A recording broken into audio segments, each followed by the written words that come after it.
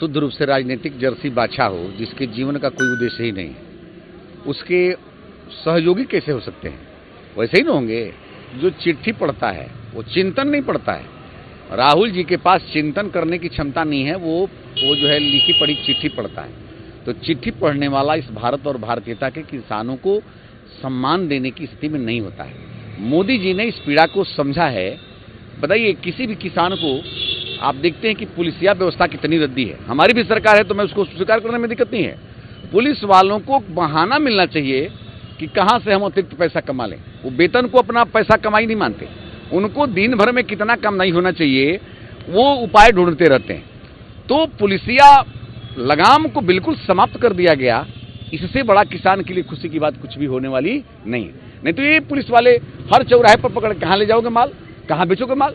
तो कम से कम मोदी जी ने ऐसा सुंदर सुंदर अवसर दिया है किसानों के लिए कि मेरा किसान चाहेगा तो बलिया का किसान चाहेगा तो छपरा भी ले जाकर के बेचेगा, बलिया किसान चाहेगा तो गोपालगंज ले जाकर के बेचेगा, बलिया किसान चाहेगा तो आरा जिला ले जाकर के बेचेगा। इससे सुंदर व्यवस्था क्या हो सकती है भाई? मैंने बिना रोक टूक के, ये तो स्वतंत्रता है, स्वतंत्रता में आदमी उचित लाभ भी लेता है और लोगों का उचित भला भी करता है। देखिए, लाभ और भला में केवल शब्द का उलट फेर होता है।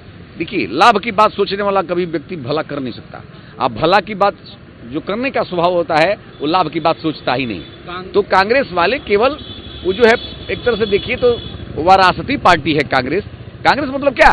कांग्रेस वाले चिंतन की पार्टी नहीं वो केवल वारासती पार्टी है। और होटल और बोटल की ज़िंदगी जीने वाले लोग मोदी के चित्र और चरित्र के सामने टिकने वाले नहीं हैं। उनका चिंतन और चरित्र इतना सबल है, वो समाज और देश की चिंता करके वो आदमी समाज के लिए व्यवस्था देता है। वो सब होटल बोटल वाले लोग हैं। कांग्रेस में 80 परसेंट जो है मैं कहता हूँ, वो खुद मैं कहता हूँ। मैं तो कहता हूँ कि होटल बोटल की संस्कृति वाले कभी भी जो है, ये साधु की लंगोटी को चुनौती देने की स्थिति में नहीं होता है। ये चिंतन है। तो तिहत्तर वर्षों बाद किसान को यदि इतना सुंदर अवसर मिला हुआ है तो इसमें कौन सा भाई बुराई है? हम हम तो जो लागत मूल्य है उसके ऊपर हमारी सरकार सरकारी खरीदारी होगा ही होगा।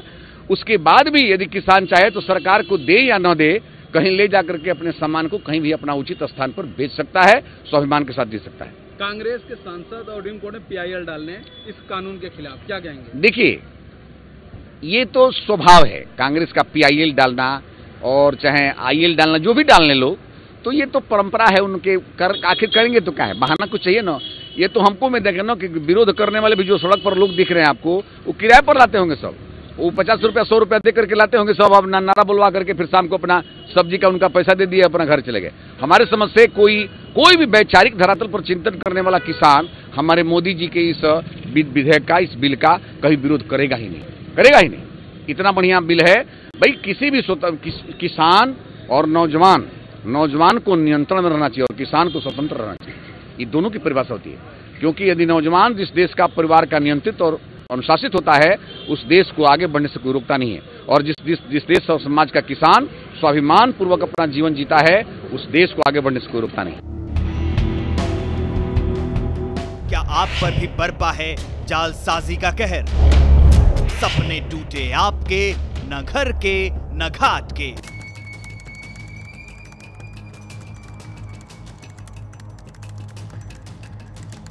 देखिए लूट घर हर रात साढ़े नौ बजे। फ़िक्र आपकी।